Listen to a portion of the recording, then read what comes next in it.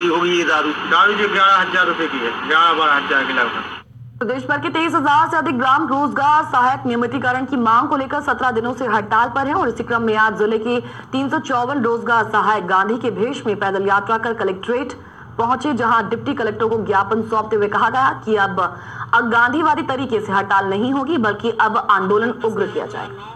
जून दो हज़ार बारह को पंचायत सहायक सचिव बनाए जाने के उपरांत वर्तमान में प्राप्त मानदेय को एक निश्चित वेतनमान नियमित सेवा सत्कार सर हम लोगों का ग्राम रोज़गार सहायक संगठन के प्रदेश के तेईस हज़ार रोज़गार सहायक पंद्रह मई 2018 से लगभग सत्रह दिन से हड़ताल पर है और इकतीस मई तक हमारा ये गांधीवादी तरीके से चलने वाला आंदोलन था। तो आज हमने ये रैली निकालकर गांधीवादी वेशभूषा में रैली निकालकर शासन को संदेश दिया है इकतीस तारीख आपका लास्ट था गांधीवादी रूप में। अब इसके बाद में आंदोलन उग्र होगा।